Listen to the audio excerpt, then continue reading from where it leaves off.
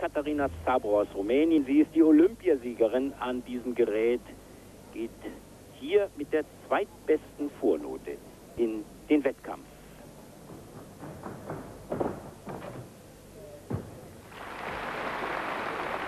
Ein guter Sprung aus dem Rondat, Flickflack und dann der Salto rückwärts gehockt mit einer ganzen Schraube.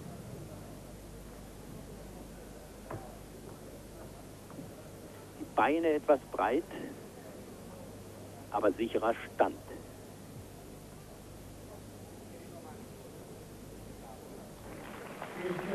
...9,90 Punkte für Ekaterina Stabo vielleicht die einzige Möglichkeit, hier in Helsinki überhaupt aufs Siegertreppchen zu kommen.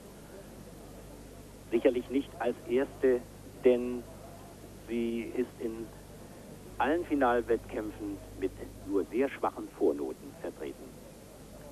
Ihr zweiter Sprung, 41 Kilogramm sind für sie jetzt angegeben als Körpergewicht in Los Angeles, 40 Kilo, aber ich glaube, das ist etwas untertrieben.